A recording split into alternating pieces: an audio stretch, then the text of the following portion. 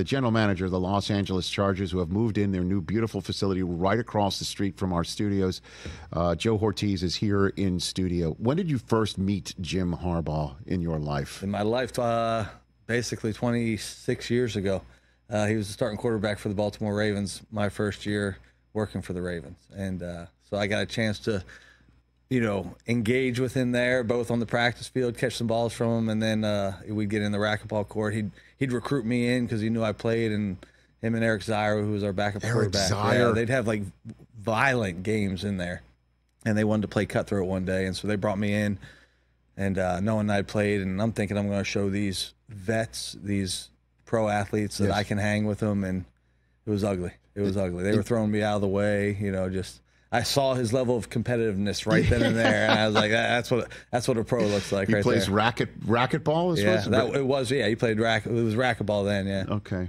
That's an he Yeah. attacks that like with an enthusiasm Oh, as well, just like everything else. unknown to mankind. So so you kept in touch with him in yeah, certain well, ways. when we when we hired John in Baltimore, Right. um, he was at you know Jim was at Stanford, and so uh, got to, got to know him then going into the school. Uh, certainly the brothers helped the connection, and uh, Right.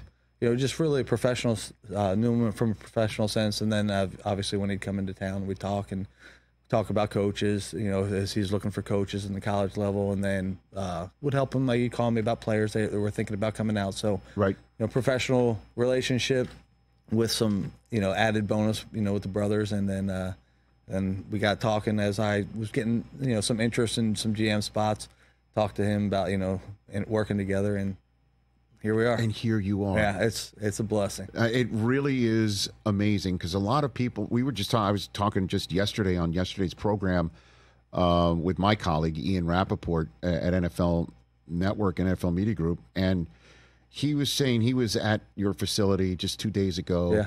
and that there's something about Jim that feels different. And I'm like, I, I don't, I don't know, because again, I, I, I'm wasn't around him every day in San Francisco, and certainly not at Michigan either. I just think the guy looks happy. Yeah. you know what I mean. Like that that he's in a spot where he's back in the NFL, Right. coming off of hanging the banner, mission accomplished Uh, yeah. in the alma mater, Yeah.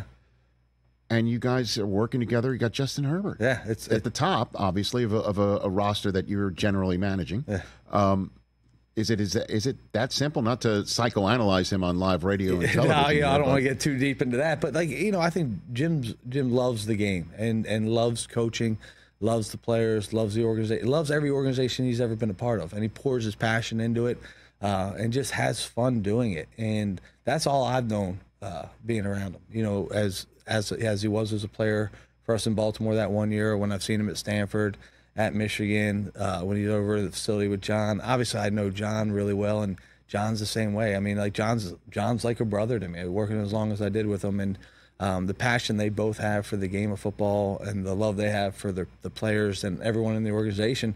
You just see it out there, and the facility is unbelievable. The Spanos family, Dean, John, AG, what they build out there, it just you can't help but come in and be excited to get to work every day. GM Joe Hortiz of the Chargers here on the Rich Eisen Show. And so your first order of business was to make some tough decisions, man. Yeah. Involving some Chargers that had been around for a while, including Keenan Allen. Right.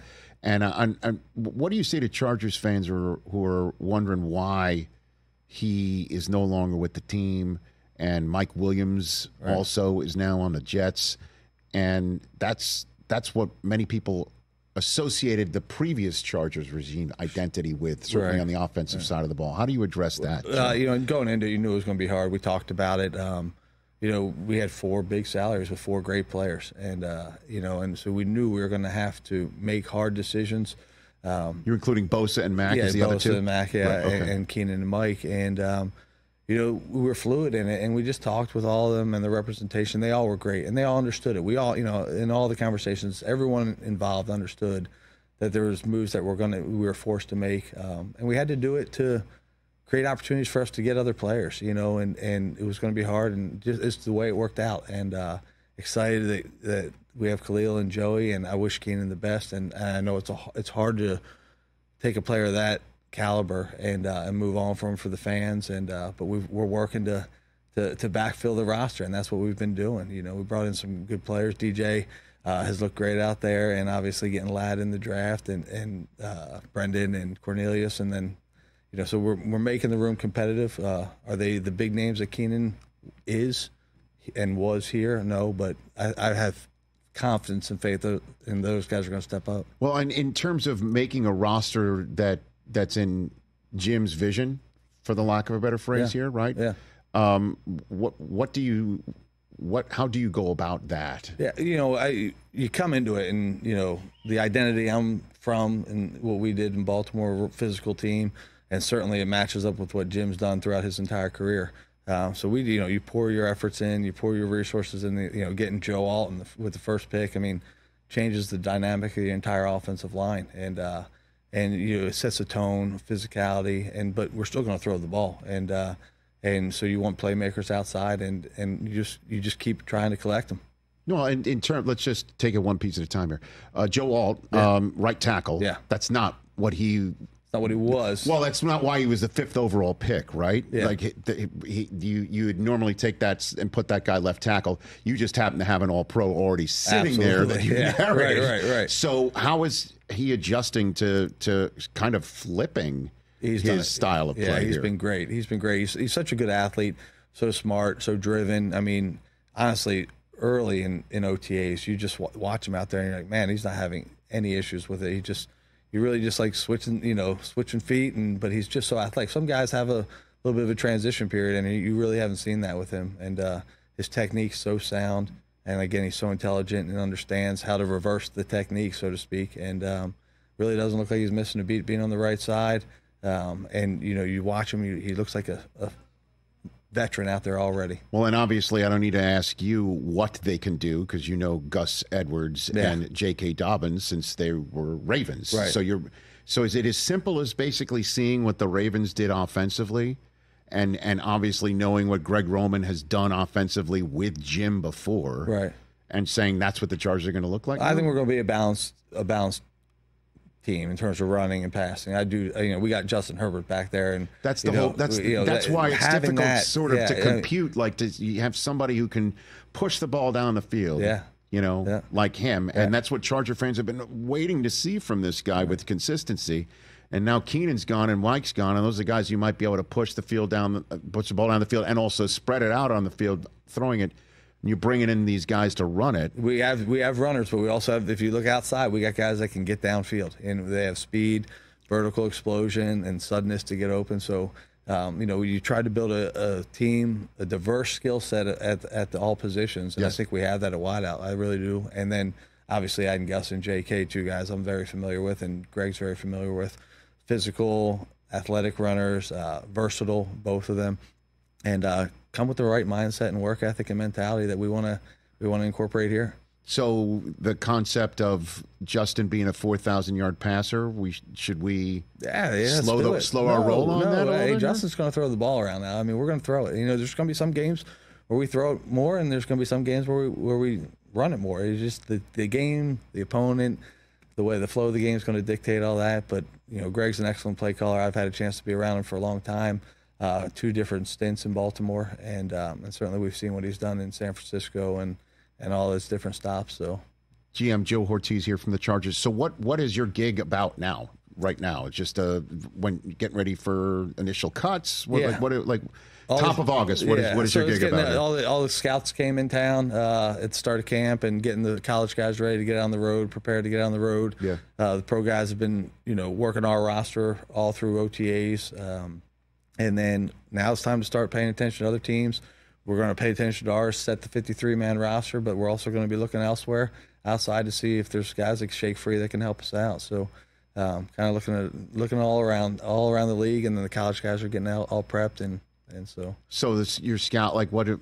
So you're you're holding meetings with scouts who are identifying guys who might be cut on other teams. Absolutely, yeah. There's right a now? process. Yeah, you go through the fall or the uh, the summer, and you assign each scout. The uh, uh, Lou Clark, who's our director of pro, he signs all the in-house guys teams. Yeah. and they're responsible for their teams, and they start identifying players on the roster that hey they may become available, and then we'll watch them play their preseason games and read up on them in the media and, and local media, and and track them and see who's going to be available and if they'll help us. And you meet with Jim every day. Is this a, a process also? Uh, so yeah, we'll, Jim and I will meet with the, with the whole staff, uh, you know, his coaching staff and the football staff. Uh, we have those in the morning, and then we just have conversations throughout the day. Always stay in communication. Always keep each other abreast of what, what we're thinking. Is it true you used some time at the combine to install offense and stuff like that? They did, yeah, absolutely. Yep, we we in the hotel coaching staff because there is some dead time at the combine. Right. You know, you know the way it's set up, and in the mornings, coaching and offense, defense coaching staffs were in uh, separate conference rooms working on the install because it's a new staff. Yeah. And guys are arriving at different times, you know. So as the staff got put together, they had a chance to get together and be efficient with that that free time. Yeah, because I, I did notice Michigan season lasted a little A late. little longer than than most. Yeah, I noticed yeah, that. Yeah, They're yeah, right deep, yeah. deep into re- deep into February, a January. yeah. Oh my goodness awesome. gracious! Yeah, I, I met Jim for the first time when he was a quarterback as well, but it was at the University of Michigan. He was my first, my freshman year quarterback. Is that right? Yeah, There you go. 1986. Something we have in common. I- know? 1986. I will never forget. I'm on State Street. Um, I'm going to the ticket office, and out came him and Jumbo Elliott from the same car. And you were a freshman. I was. That's I was awesome. starstruck Yeah, 100%. on the spot because that's Jim Harbaugh. That's Yeah. Mr. That's Mr. Wolverine. I mean, he's the guy that was guaranteeing stuff against Ohio State, pissing off Bo, then cashing in with by saying like, you know, we're going to beat Ohio State. Then they did. Doing it. Yeah. Um, uh, and then they, then they did lose the Rose Bowl to Arizona State, but it was the best Michigan loss ever because Ohio State hired their coach, figuring that he could beat Michigan with regularity. It was John Cooper. There you go. There you go. Not to troll all over, but that was that's the 1st I'm time I met Jim. that one. I still go into colleges, no, no, you know, I know, I know you do. I know you do. And Ohio State sends some great players to Yes, the next level, for sure. You know, and so obviously these these are exciting times in in that regard. I'll take a shot on this one, Joe. Uh, have you watched the Hard Knocks on the Giants? Have you watched any of that? A little bit of it, a little bit of it. I've been at the office a lot, so I haven't watched too I'm much. sure. I've watched more of it like from a social media aspect. Right. Than, uh, so, are you surprised that this stuff, this sort of stuff, is is out there for people to hear and see? Or it's it's something you're not used to if you've never Right. gone through it. Um, but is it, does it sound familiar? The the cadence in these conversations. Yeah, certainly, yeah, yeah. You you know, everyone they're a little different in every building, but uh, yeah, those conversations are had, and you know that's that's the way we're heading. And uh, you know, we started in Baltimore in 2001. That's right. That was the original. Were you one. on- were you on- you I was there? there? I was not. I tried to avoid the camera as much as I could. Were you know? on the field when when uh, Billick was trying to test the turf in the Veterans Stadium and Yeah. said we're not playing? Yep, yep. I was there yeah, on the sideline. Yeah. Wow. So, yeah, because I, I do remember that first Hard Knocks. There was 'cause a that- big old divot there. I mean, Oh, like the seam, and it was. I mean, you literally sunk down. You know, so uh, yeah, it's it was, and you had to get used to. You know, you, the boom mics would come out of nowhere back then. You Right. know, and just gotta be careful what but you're saying. Billick wanted to do it to keep people sharp, right? Yeah. Like, to, like you're coming off the Super Bowl, and he's just like, "We're gonna, we're gonna, we're gonna get everybody stay in here." focused, stay locked in. Yeah, and it was and it was a neat story. You know, I mean, it was a great concept, and it still is. You know, and uh, certainly it's it's attracts the attention of the, of the audience. And again, I, I you know, I, we, we've just met, and you, you strike me as a guy that doesn't want to pound his chest a little bit here, but uh, I'll give you the opportunity. Somebody that you've scouted in your career that you're like, let's go get this guy, and he turned out to to be who you- who are you most proud of of somebody that you've uh, you've pounded a table for. I really it in Baltimore it's- it was a it was a collective Sure. process, and uh, But you had to have pounded the table for somebody at some point, We right? all did. We all did. We really did. It's a group process. With It's- Ozzie at the- at the- at the head of the table? Ozzie's at the head. Eric there next to him, and then Eric shifted to the head. And you know, it, this, there's multiple scouts that look at every player. Um, same way here in, in Los Angeles. You know, we do it together. The coaches get involved. We want to find the best players for our organization, best people for our organization, uh, who we all like. You know, you want to find Sure. a player that the coaches like, the scouts like. There's no one individual driving it. That's the way I was taught, and that's what I believe in. But there's so. an eye in Hortiz. No, so yeah, come on. is, What, no. So there's not one guy in your like where you you're you're sitting in the stands. You're like that guy's flashing, and then you brought him. You you brought him to the table at least. Uh, there's not one guy. Really? There's not because we. It, it's a I really is rich. Like in Baltimore, it's a process. Like one scout identifies him, likes him. Maybe another scout likes him more. Um, maybe one scout looks at him, another scout goes and works him out and talks about how great he was. in it. Right. But it's it's a it's a group process. We do it together, and uh, that's the way we're doing it here. And how many times um, when you were in a meeting with scouts in Baltimore, and um, you liked a guy, but immediately disliked him because Daniel Jeremiah pounded the table all the time. I you know, you know Okay. that, that's the guy that drove us. You know, and so DJ, man, he's the best. You know, no, I tell you what, DJ, uh, the crew he was a part of. Yes. so he wrote some of the best reports, and it, it What do you became, Like his the summaries, the the the. The uh, creativity in the summaries, was- Really? oh, was His creative Yeah, writing? yeah, it was excellent. You know, and uh, Huh. it, it was like a competition in there. So We didn't know that we had a about. DJ. Joe, Joe Douglas was in there. Uh, right. Chad Alexander, who's our assistant GM. Right. Uh, Andy Weidl, who's the assistant GM of uh, Pittsburgh. DJ Jeremiah Washburn, who's now coaching with the Eagles. They'd all get in there, and there, there were some there were some witty reports being read. What's it going to be like before I let you go back across the street? And I greatly appreciate you taking the time during training camp to. By the way, you're the first Charger to be here That's with the. Chargers. Now we're neighbors, you know.